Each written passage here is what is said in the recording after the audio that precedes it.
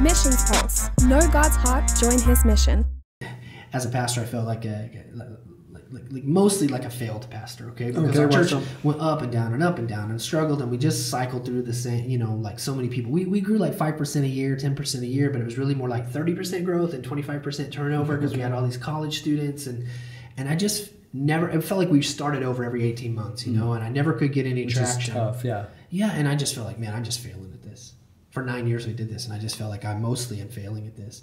And only now am I looking back and seeing that that season of life was really impactful for a lot of people who now are, are some of the groundwork for our ministry. Yeah. Scattered all over the place. They're not in my city anymore. Many of them are scattered, and we're working with them all over the place now. Well, you, you drop places like crazy. I mean, oh, Nepal and Bhutanese refugees, and my friend in uh, Eastern European country XYZ. no, it's it's wild, man. That the the way that stuff is taking place. Yeah. And um, and to be in a spot to just say, all right, the Lord knows what He's doing, and, and I know that's not satisfying. Like we want to be able to say, what is God doing here? And and sometimes like we really do get to know. I think yes. like we really do get to see sometimes like, oh, I get it, I get it, and sometimes it's just above my pay grade, you Yeah. know. And and I have to just say, I, don't know, I don't know, Lord, but I trust you. So that's the kind of encouragement you want to bring to people today. I mean, I mean, I guess I'm playing a little bit of devil's advocate Yeah. because people are in that place and they know it. And you just described it to a T. Okay, well, thanks a lot, Jimmy. But now I have to keep trudging. What's the, what's the whole goal here? If let's go back to let's say just the little motto and sub motto of, of this podcast: Know God's heart, join His mission. There's kind of some action or response that, Sure. that, that I think Jesus calls us to. Look, see, they're like sheep without a shepherd. Have compassion. Pray that the Lord will send harvesters or workers into His harvest field. Maybe you're the answer to that prayer. Not here I am, Lord. Send my brother behind me in the pew. Yeah. Um, so, what is the encouragement then? Just keep trudging, brother. Be like William Carey. I can plod. Or what? I I I don't know that it's a clean answer. Okay, I, I'm. I was kind of hoping it wasn't a clean answer to You tell know, you the truth. Well, I, I think I'm in not some looking for closure. sure yeah I, I think i think it is difficult sometimes Okay. You know? I think it is confusing sometimes. I think it is frustrating sometimes. Um, you know and yet I, I remember being chastised a little bit by my really good friend my romanian friend florine. And uh, he, he told me he said every time he asked you he would ask me like oh how's the ministry? I said oh we're making progress. He's like you you americans and your progress. Okay. you know, he's like always progress. Oh, this and that, and never, you know. And he's really coming from a different mindset than me, and and helping me understand like, like I'm just I'm like keeping score all the time. Like, where am I going? Am I making the next step? Am I getting the next Yeah, step? And I'm judging. everywhere. Yeah, I'm judging against like the future version of me. Hmm. You know, and that's an unfair thing to me. First of all, you know, and second of all, I think like I want to be a person who lives with passion and urgency, but not with ambition not with like blinding like crazy we're just gonna you know just take every hill and just keep going and charging and finding the next thing because at some point we have to just accept the, the life that god has given us and, and enjoy it. Hmm, yeah. you know and take it in as a gift and receive it as a gift the good days and the bad days you know as, as part of that. And so part of my encouragement maybe is is that we don't always see the whole picture you know. And the other flip side of that is like what's your better option? You got a better option? You know like you got a way to like solve all the dissonance Yeah. in your life and Yeah. find better purpose?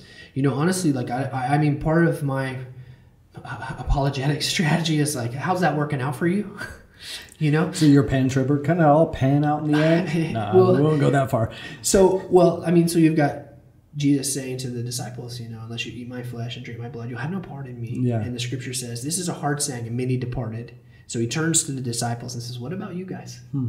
You guys to bug out also? Yeah, And Peter's famous words, right? Where else would we go? yeah, You alone have the words of life, man. I was just out in the boat, you know. yeah. You interrupted my life. I'm here. What, what option do I have? I can't even find my way back if I try.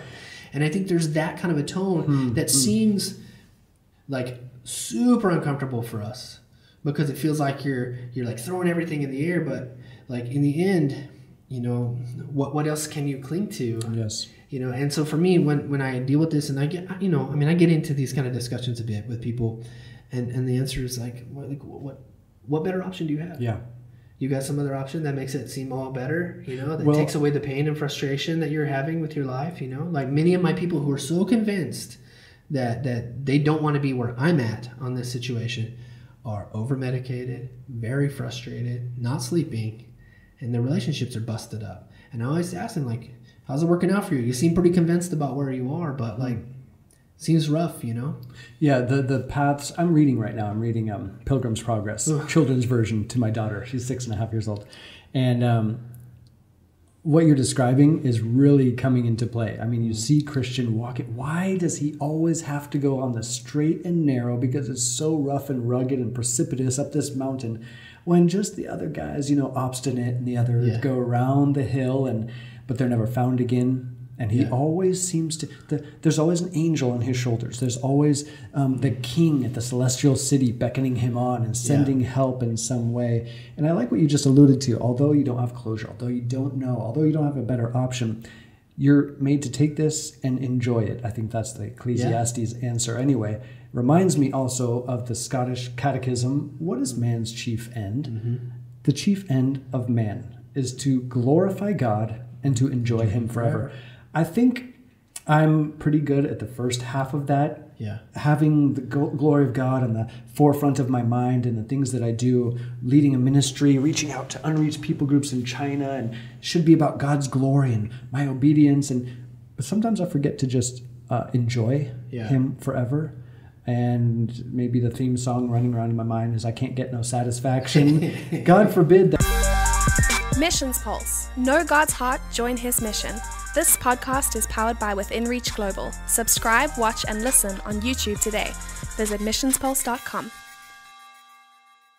Thank you so much for watching. If you enjoyed that video, leave a comment below. Tell me what you thought. Also, you might want to check out this video here, and honestly, that one's not bad either.